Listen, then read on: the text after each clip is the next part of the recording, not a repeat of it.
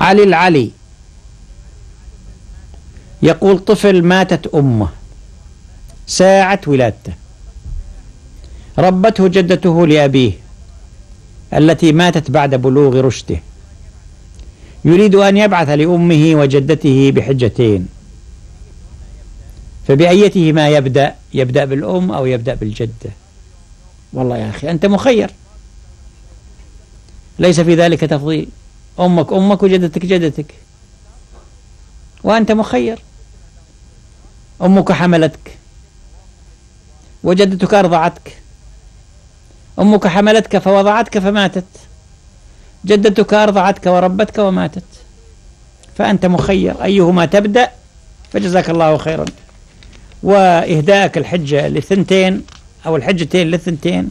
بر منك. ووفاء وأسأل الله أن لا يحرمك. أجرة. أخيرا أيها الإخوة نختم بهذا السؤال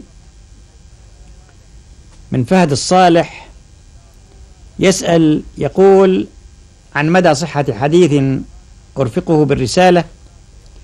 وهذا الحديث طويل ولكنه مليء بالأربعينات ألف ألف. أربعينات ألف ألف. معنى هذا الحديث أن من كلف بأذان مسجد فله ثواب أربعين ألف ألف نبي وأربعين ألف ألف صديق وأربعين ألف ألف شهيد شهيد ويشفع لمثل أربعين ألف ألف من كل أمة وإلى آخره. ثم يقول ما دور؟ وله كذا أربعين ألف ألف مدينة وفي كل مدينة أربعين ألف ألف قصر وفي كل قصر أربعين ألف ألف غرفة وعلى هذا هذا المدار. هذا الحديث الذي سامعه. والحديث منين سامعه؟ ما أدري. الحديث مكتوب مطبوع. من من؟ ما أدري. على كل حال أقول للأخ فهد إن هذا الحديث من من وضع القصاصين. وليس هو من كلام سيد المرسلين. أولا إن عبارات ركيكة. وكلام الرسول صلى الله عليه وسلم واضح. وكلام الرسول تظهر عليه أنوار النبوة. يفهمها كل من في قلبه ذرة من إيمان. مثلا حديث يقول الرسول صلى الله عليه وسلم المؤذنون أمناء والأئمة ضمناء. اللهم اغفر للمؤذنين اللهم سدد الأئمة. ما قولك بهذا الكلام؟ لذيذ؟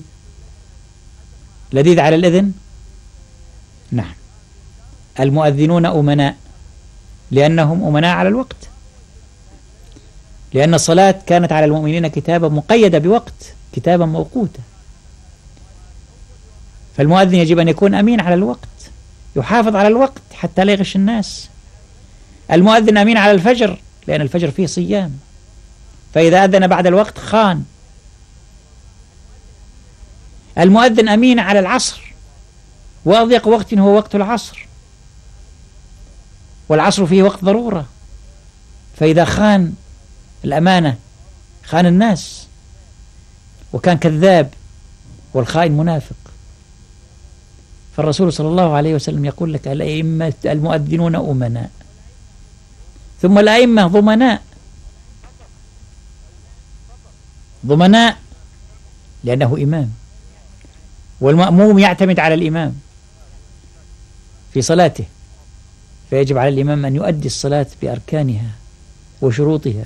وواجباتها وسننها كاملة مكملة. فيتحمل الإمام. كل خطأ.